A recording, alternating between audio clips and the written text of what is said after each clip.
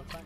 Well, no, not really, because you see, um, we, we, yeah, we, we have large tanks, uh, proper fuel range on a proper motorcycle. and we haven't had a, we haven't had to bolt any part of any strimmer to the front of our motorbikes. Is all good.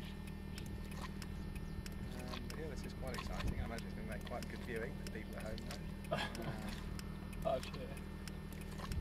that's all good. Been doing this a long way down bit. Thi- This, people, is a